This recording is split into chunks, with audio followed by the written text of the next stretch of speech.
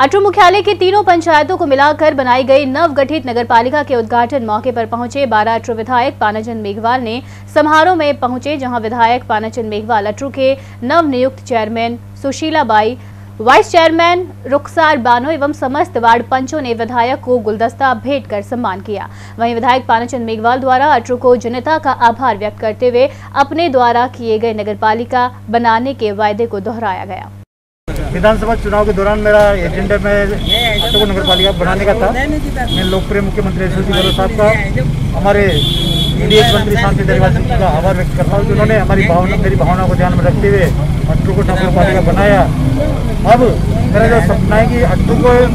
विकास में चार चाँद के लिए चाहे वो तालाब के विकास की बात हो, पार्क के डेवलपमेंट की बात हो, स्टेडियम का निर्माण हो, या रोड लाइटों की बात हो या गली गली में किसी रोड या ग्रेव सड़कों की बात हो, हम निश्चित रूप से